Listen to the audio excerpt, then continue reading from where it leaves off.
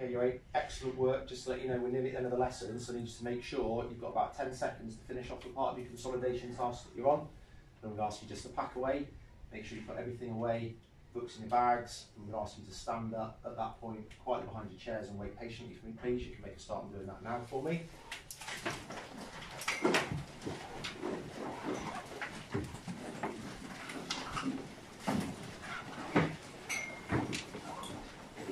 Just do a check please on your uniform once you've stood up and make sure your shirt's tucked in. Then you need to make sure you go down to pastoral support manager please get your tie sorted. Patiently behind the chairs please. There should be nothing left on the desks.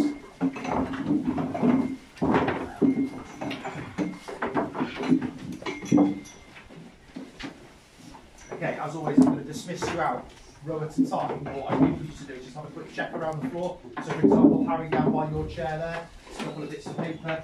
We'll just pick anything up, just bits of the task we've done today. You don't need to come up to the front, just keep them in your hand and you can drop them in the bin on the way out. Just a couple of things before I do dismiss people, just about behaviour for learning grades. There's some excellent learning in here today. Neve, I'm going to put you on the board for applause on the doors, just up on the board here.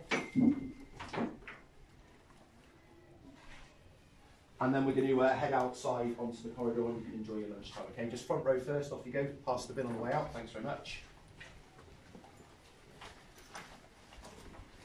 Second row, off you go.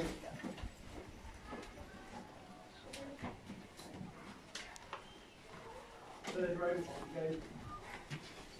Do the back, still be books there. Just make sure your books go with you, please. so You've got your homework task as well. And back row, off you go. Thank you very much.